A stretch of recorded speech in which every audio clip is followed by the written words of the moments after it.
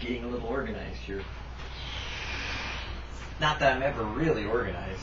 Seems like I'm always a little bit disorganized. Or maybe I'm organized in a chaotic kind of manner. Or maybe the chaos is my, well, you get the idea.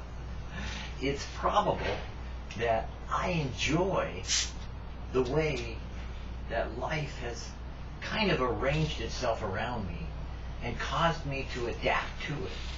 That I can sit back and kind of enjoy it for what it is. Kind of recognize it for what it's becoming. Accept the day that I'm living in. I kind of enjoy that part of my life. Being able to accept life as it comes at me. Being able to rejoice in those things that I see happening to me, even getting old. it slows me down. I kind of like that idea of being slowed down because God's been teaching me lately about what the priorities are living in the last days. I thought I understood that, you know, being that I grew up for 30 years now, maybe 35 years, with the expectation that Jesus is coming in my generation. And I know that without a doubt, beyond any shadow of a question in my mind. I planned my entire adulthood around the very concept and knowledge that Jesus is coming and that I am not going to see my grandchildren grow up or my nieces and nephews in my case because I really don't have any children.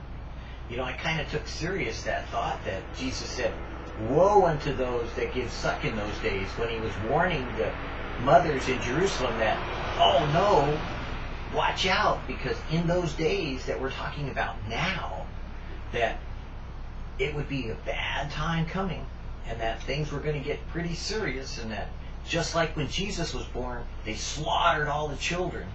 You know, Rachel was mourning for her children for they were no more. That in the last days there would be mothers mourning for their children because they would be slaughtered. It's kind of sad when you think about it because if you don't know what's coming,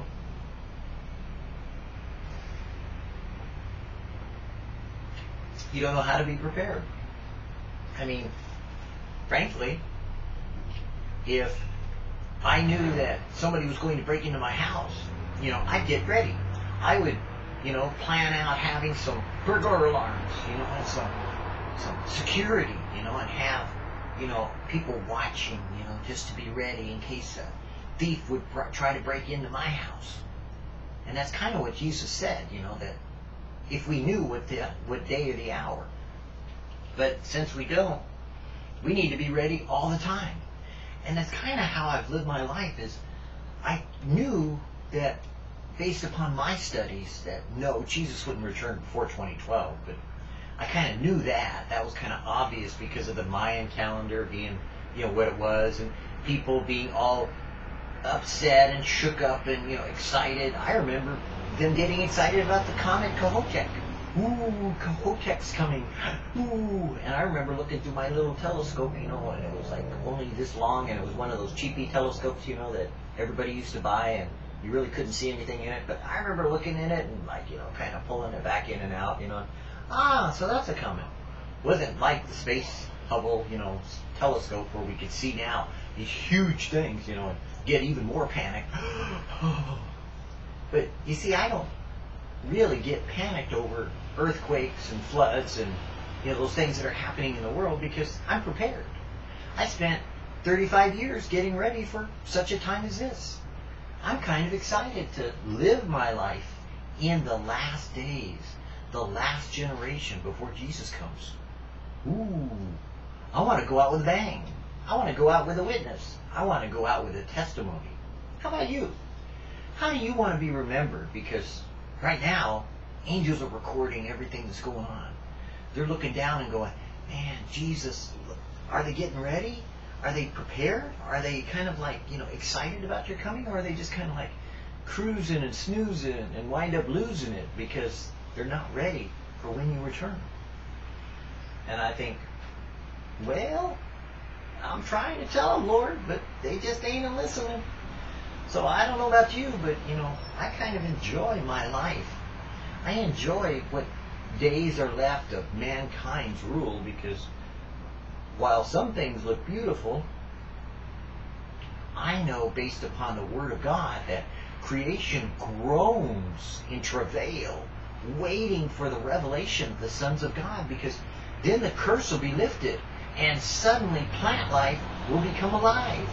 Yes, more so than what you think you see. I mean, don't get me wrong, you guys are beautiful, but hey, you know, it kind of might be nice if, you know, you could fully bloom instead of just partially bloom. Like, you know, the rose, you know what a rose looks like. A rose by any other name would not be a rose, but did you know that the thorns on a rose are part of the curse? Yeah, the thorns on a rose bush are undeveloped blooms. They really aren't supposed to be there. Because that's what God said, thorns and thistles you would reap, but, you know, when the curse is lifted, ooh, creation gets to give one more burst of glorious growth. Of course, that'll probably happen in the kingdom of God, where Jesus is. I don't guarantee it's going to happen in the entire world because God's going to kind of clear mankind's inventions of everything there is in the world. And during that thousand years, hey, some of it may be kind of like, you know, like uh, recovering from all the devastation that came upon the world because God's wrath came upon it. So it may take, you know, a good, you know, two or three hundred years for it to kind of like grow up again. But look around. You get to live for a thousand years and see the world kind of grow up the way it's supposed to grow. Man, let's get on with it, don't you think? So I'm kind of spending my time looking forward to that while I'm living in my day-to-day existence, sharing the Word of God, but looking forward to His coming. Because really, I can't wait for that millennium to happen. It's going to be beautiful. No technology, get rid of it. You know, none of this kind of like you know, let's make steel, you know, out of all the things and consequences and all the you know yucky stuff that goes with it that we try to ignore. Oh well, you know, we don't admit that you know we had to do some things that kind of harmed you know the world and God's creation when we were making all these other things, you know, like plastics and electricity and doing things that kind of there was a price to pay, but we passed it on to the next generation and the next one and the next one. Well, in the tribulation, God says, okay, time to pay, pay up, and He demands a price and it ain't pretty. Oh well. So, in the millennium, we get to do it God's way, not our way. And I kind of look forward to that. So today, I kind of enjoy my day based upon God's way and not your way or the American way or the American dream or anybody else's dream. I like living reality, you know, reality with God, you know, seeing the kingdom of God now and enjoying it to come. Awake to righteousness and sin not. You are all children of light and children of the day. Cool. I like that. Therefore, let us not sleep as do others, but let us watch and be sober. I think it's a good idea. It is high time to awake out of the sleep, for now is our salvation nearer than when we believed. The night is far spent, and the day is at hand. Let us therefore cast off the works of darkness, and let us put on the armor of light. I think about that, you know, sometimes if people tell me about all this kind of fancy armor they got, you know, they show me these pictures of like all these shields, you know, and metal and structure, and I think, my armor of light really is just the love that shines bright out of my inner soul from the being that I am to the outward manifestation that people see of the light shining forth from within me. Jesus is that light. And as Jesus begins to take away my flesh and make it die to itself, he becomes more bright inside me, more alive to those that can see me. And they no longer see me, but they see him who is in me. And I think that's the armor of light. At least it is for me. Now maybe for you, you have something else going on. Okay? I just happen to like Jesus in me and for people to see that more than they see me. Wherefore take unto you the whole armor of God, that ye may be able to withstand in the evil day, and having done all, to stand. Just stand. Just stand. Cast away from you all your transgressions, where you have transgressed, and make you a new heart and a new spirit. Try it today. Start today and go forward.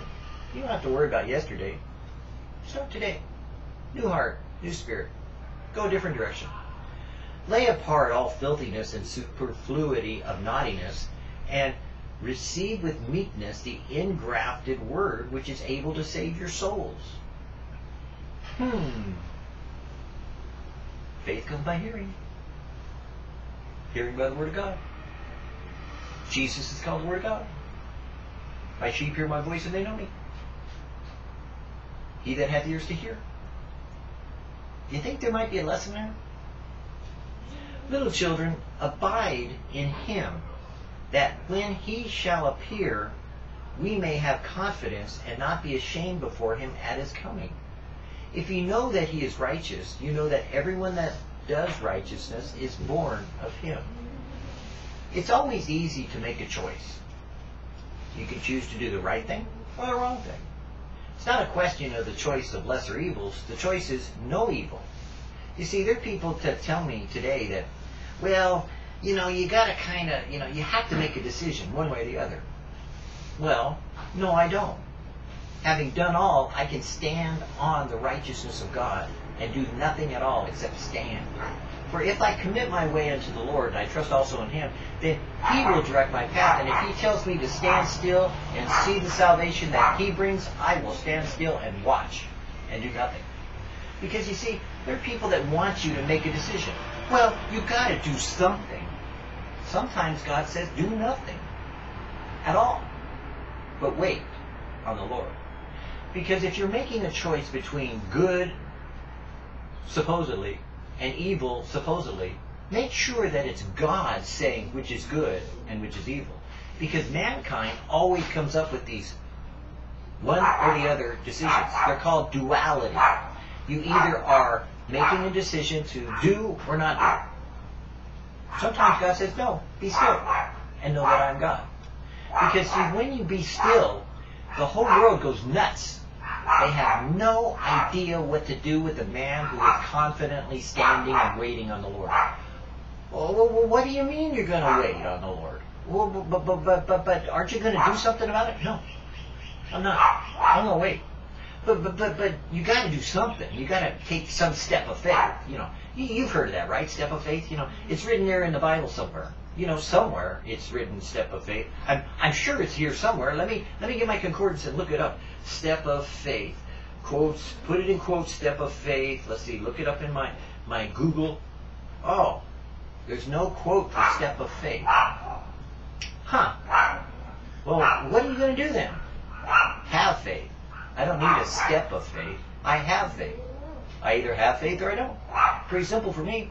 Because if I wait on the Lord and trust also in Him, He shall bring it to pass. But if I step forward in faith, forcing the issue, then I'm suffering the consequences of my decision making process. If God tells me go forward, hey, I go forward. If He says take one step, I take one step. If He says take two, take two. If He says walk as slow as the slowest among you will go, then I will walk as slow as the slowest among us will go. Because after all, I want to leave anybody behind. Now, the world in Christendom sometimes says, yeah, but you know, you want to save as many as you can, so leave those ones behind to get the thousands you could collect. Mm, no, I don't think so. The one may be the one that's all that's needed to be done with the world and its ways.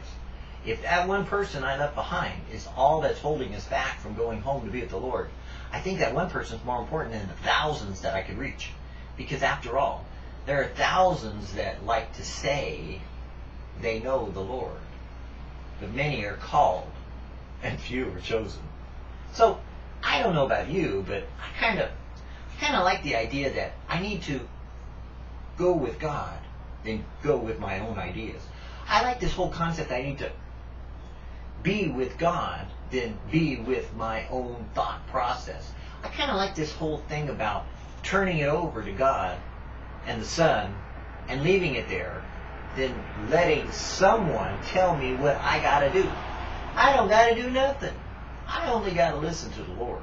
Because after all, He is my Lord and my Savior.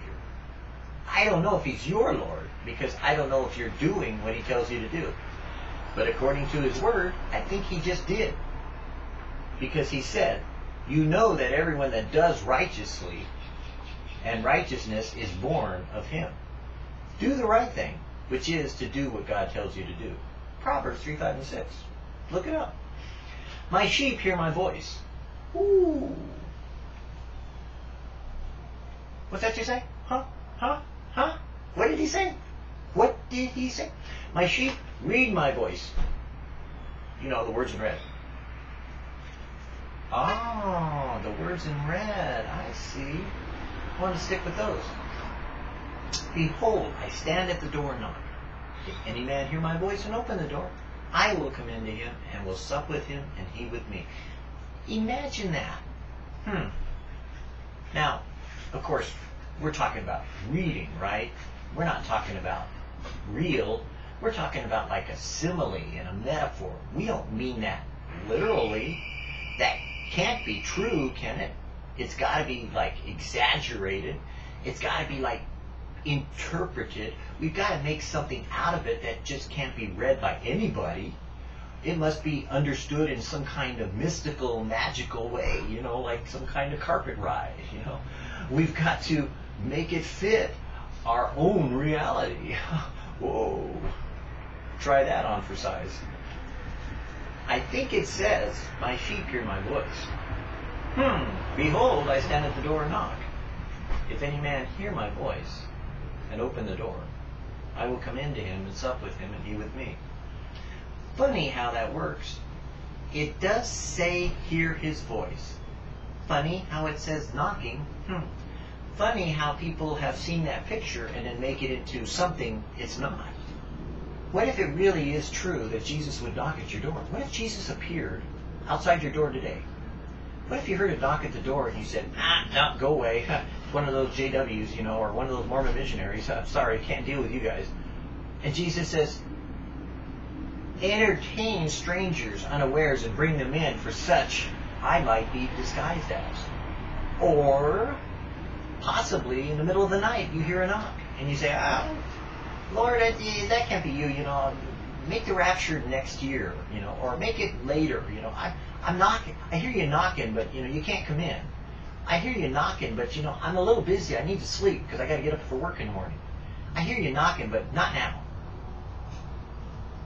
Do you get the picture? Behold, I stand at the door and knock. If any man hear my voice, any. Interesting. It's written to Christians, but it says, if any man hear my voice. The problem being is that Christians have a theology that sometimes makes the theology of God less than what God is. God will meet anytime, anywhere, any place with anyone that calls upon the name of the Lord. Because he wants to save. And he will save to the uttermost. So there may be a lot of people that seem not religious, but yet take literal some things that God has said and may find salvation, while the rest are kind of like working out their religious ideas in the midst of the tribulation. Ooh, what a place to figure it out. Ouch! But he did warn us. He did tell us, didn't he? Behold, I stand at the door and knock, and I will come in to him and sup with him, and he with me. When you make your household open to the Lord, when you make your door wide open to those strangers that you would allow in, when you are able to share that which God has blessed you with, then God is able to open the door for you to come in and sup with Him. Because then He will bless you as you bless others. I sleep, but my heart waketh.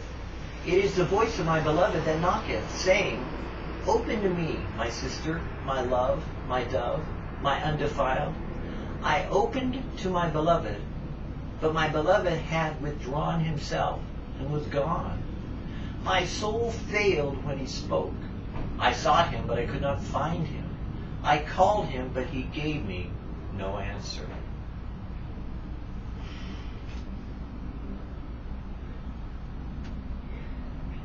Life was filled with guns and war, with rumors of war, with Israel attacking Iran, with America making its plan, with people voting in their own way, people deciding their own decisions, everyone choosing to do what they think is right in their own eyes. And everyone got trampled at the rock concert, and people got trampled at the latest gizmo to be sold for the iPhone or iPad, or the Walmart special, or the wait in line for those special tickets to get free. Come, wait, be here for three days and three nights, and you'll receive the reward. I wish we'd all been ready. Because according to what Jesus said,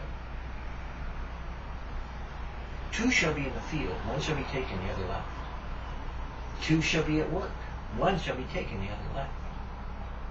Jesus said, if that man had known what hour their Lord would return, he would have prepared ahead of time. And Jesus is saying, he stands at the door and knocks. Do you hear his voice? Are you learning to? Are you taking the times that you're supposed to in the morning, in the noon, in the night, to be with God? Do you love him as your delight, as the Song of Solomon just now spoke? Will your beloved be not there when you open the door and you call out to him and he does not answer you? I wish we'd all been ready. And I wish we all will be ready. But we won't. Will? The choice is yours. It's a simple decision to make. Hear, O Israel, the Lord our God, the Lord is one. And thou shalt love the Lord thy God with all thy heart, with all thy soul, all thy mind, with all thy strength. Jesus, Jesus, Jesus, I love you. When the Son of Man returns, will he find faith? The question he asks us, are you ready? Are you ready? Are you? Was filled with guns and war. I wish we'd all been ready. Speak, for thy servant heareth. When Jesus came to the place, he looked up and saw him, and said unto Zacchaeus, Make haste and come down, for today I must abide in your house. And he made haste and came down and received him joyfully. I will hear what God the Lord will speak, for he will speak peace unto his people and to his saints. But let them not turn again to folly.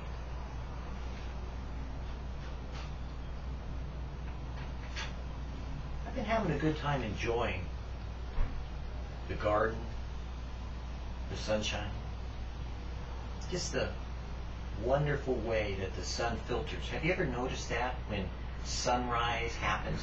It's almost like at that slant. It just comes through the window in the morning. It just kind of like wakens up. It shines down at a slant and all the little dust particles. And sometimes you can see the little rays of sunshine when it's coming through the window. Have you ever seen that through the plants or through the trees? How the sun filters through and shines on little spots of light. And you enjoy it like a picnic, like taking time to rest, to relax, to be still. Every one of us in our day needs those moments to be still, to be quiet, to be calm. Because you see, the world really is good. At giving us everything else except peace. Jesus said, In the world you shall have tribulation. But be of good cheer, I have overcome the world. My peace I give unto you. Not as the world gives, give I unto you. I give you my peace. And in that way, we know we are his children peace. Be still and know that I am God.